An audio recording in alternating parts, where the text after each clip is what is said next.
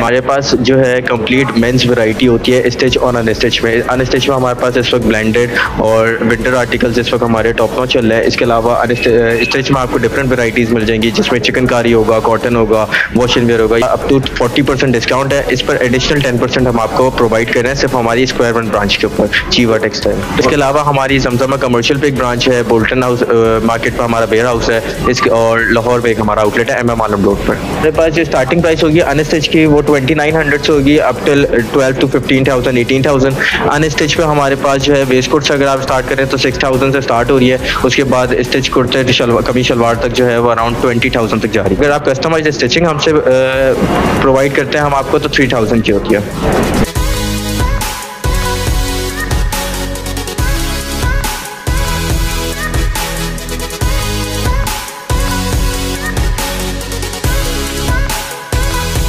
अस्सलाम वालेकुम मेरा नाम मोहम्मद शाहजीब है और मैं Jeeva textile square one branch का मैनेजर हूँ।